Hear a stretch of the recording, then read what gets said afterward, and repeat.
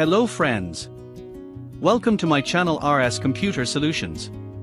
Today in this video tutorial I am going to show how to create a user account and group in vCenter. Open your web browser and go to the vCenter login page.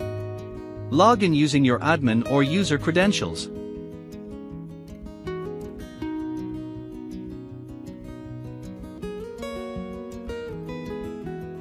Click on menu top left corner. Select Administration.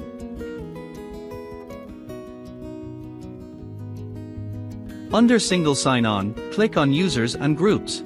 Select the Users tab. Click Add User and provide the following details.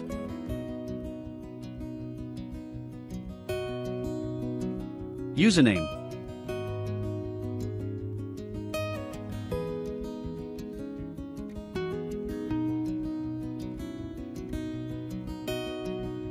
Password.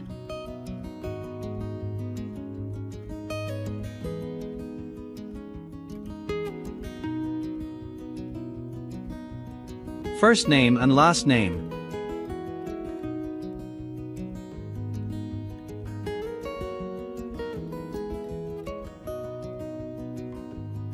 Email address.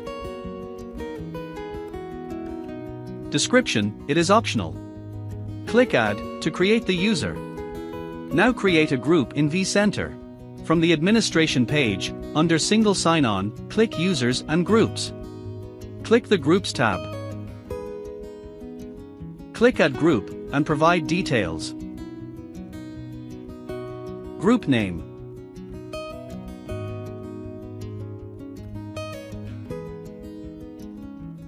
Description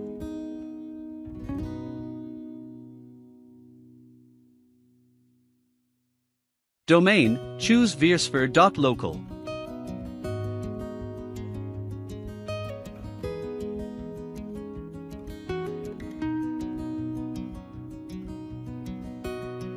Click Add to create the group.